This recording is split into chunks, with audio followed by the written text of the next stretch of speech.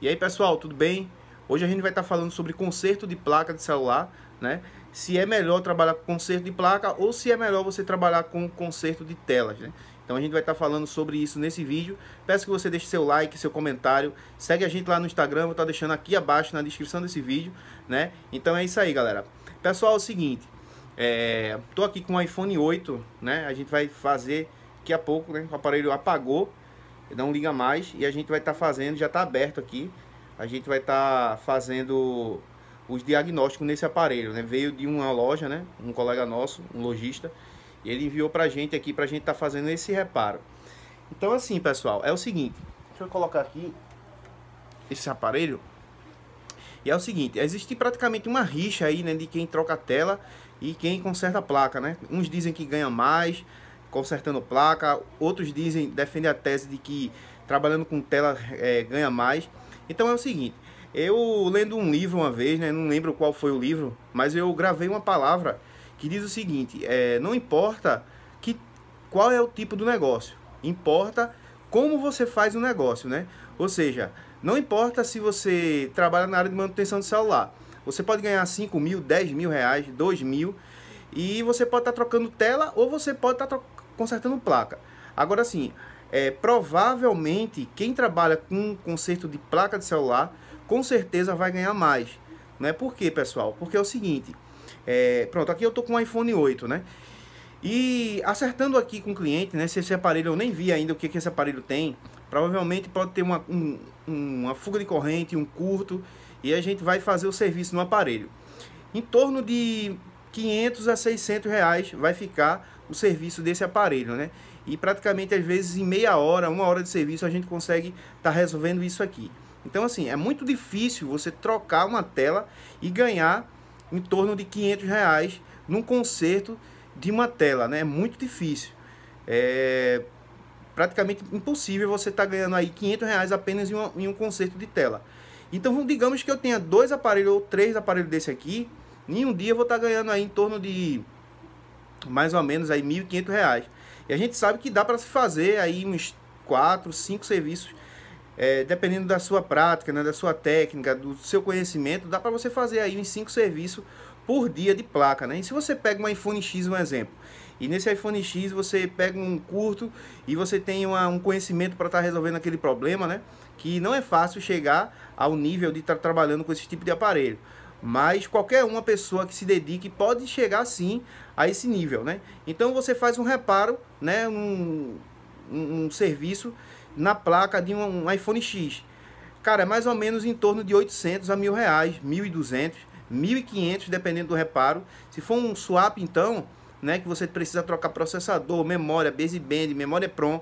Vou, quem tem técnica para isso, eu já vi pessoas fazendo em 30 minutos isso aí entendeu? Então, assim, quem tem técnica, quem tem prática, isso se torna fácil, né? É, para alguns não é fácil ainda porque não estudaram, não praticaram, mas para quem pratica todo dia, para quem trabalha fazendo isso todos os dias, isso fica fácil de fazer. Então, imagine você fazendo uns 4 ou 5 swap por dia, né? Então, quanto você vai ganhar? A maioria das pessoas que trabalham fazendo swap, né, que são trocas de, de é, de componentes de uma placa para outra, né, para estar tá salvando aquela placa e os dados do cliente, eles trabalham apenas com aparelhos caros, né? Porque não vale a pena fazer um swap num aparelho barato. Então, vai fazer um, aparelho, um swap num, num iPhone 8, né? num iPhone 7, é, num, num iPhone X, e aí vai estar tá ganhando muito bem para estar tá fazendo isso. Eu sei que nem todo mundo consegue aí estar tá fazendo esse tipo de serviço, é um serviço bem avançado. Mas digamos que você trabalhe com placas é, que está aí no dia a dia, né? Do A20 a 30, né? alguns Grand Prime, é, J2 Prime, que você faça esse tipo de serviço, eu cobro. É, praticamente hoje eu não estou trabalhando mais com placa desses aparelhos, né? Eu estou pegando, tentando pegar aparelhos mais modernos, que o valor do, da mão de obra é mais, é mais viável para mim, né? Para você não estar tá também pegando muito serviço, tendo muita dor de cabeça e você não tá tendo um lucro bom.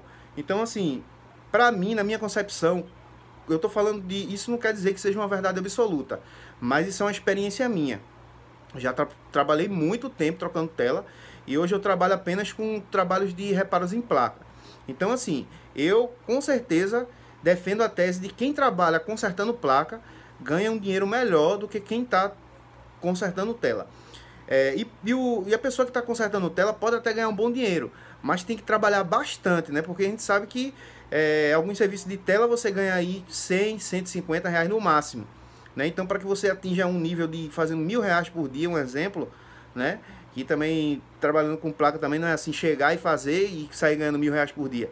Mas, assim, é, a probabilidade de quem trabalha com placa, né? É mais fácil ter uma renda melhor, né? Uma qualidade de vida melhor do que quem trabalha com tela. E segundo, pessoal, um segundo ponto que a gente deve estar tá reparando bem aí, é que é mais difícil ter um retorno de reparos em placa né? Você reparando uma placa, é mais difícil ter um retorno, porque você vai ali na raiz do problema, vai ver o que é está acontecendo, né? vai fazer uma análise é, perfeita. Né? Primeiro você tem que saber o que está fazendo, né? para você não estar tá fazendo coisas que depois venha a retornar. Então você tem que aprender análise de circuito, você tem que aprender bastante esquema elétrico, tem que ter uma, uma ideia boa né, dessa área de, de reparos em placas. Né? Você não, não é assim, chegar, olhar no YouTube algumas coisas e fazer.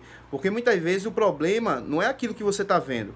Existe um problema por trás daquele que está ocasionando aquele que você resolveu. Então, por isso que vem os estudos, né? vem a teoria, vem a prática. E com o tempo você vai pegando experiência, você vai sabendo fazer o serviço certo para que não haja retorno. Mas assim, é menos provável que volte um serviço de placa do que volte serviços de tela.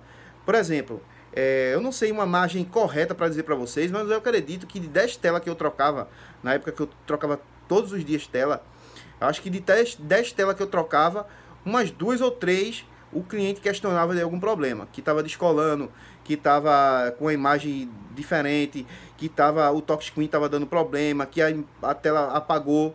Então, assim, sempre tinha, todos os dias tinha um retorno aqui, outro retorno ali.